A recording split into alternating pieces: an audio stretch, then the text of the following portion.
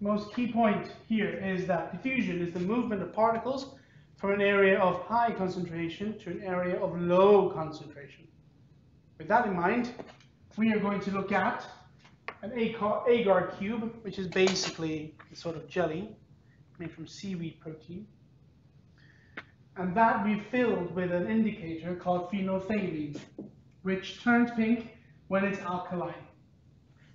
We are then going to put it into a beaker full of hydrochloric acid.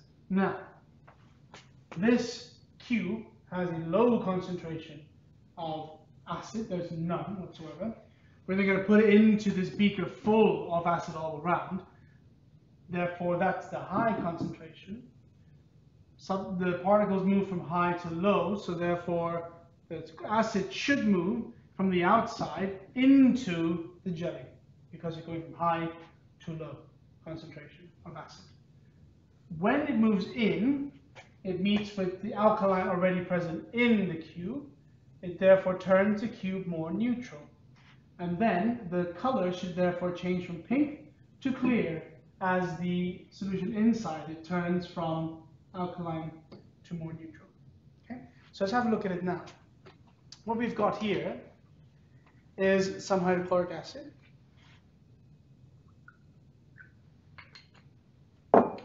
And, of course, eye protection. And here we have our agar cube. I'm just going to drop the agar cube very gently into the acid. Then over time, we should see the diffusion of the acid into the cube. As you can see, we're going to fish out the agar cube now, after it has been inside the acid for quite a, for a bit of time, a short amount of time, but beautifully demonstrated here, the acid slowly has diffused in from the outside into the cube. If we cut the cube like so, we could see very clearly how far along the acid has diffused into it as you can see that.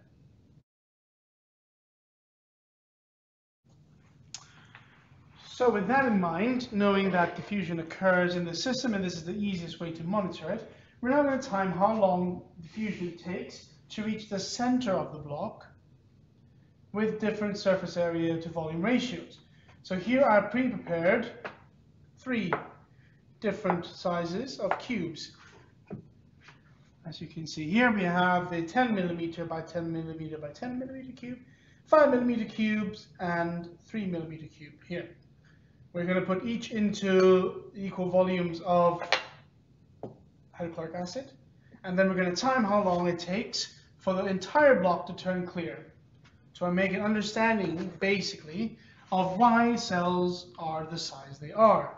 So here we go. Let's get this laid out stopwatches at the ready for each one, and off we go.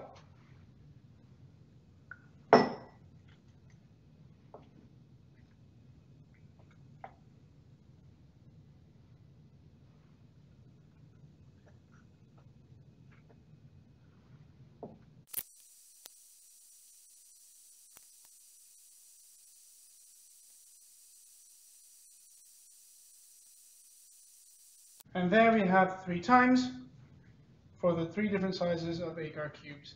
Now please head over to your worksheets where we will do some calculations and some graphing.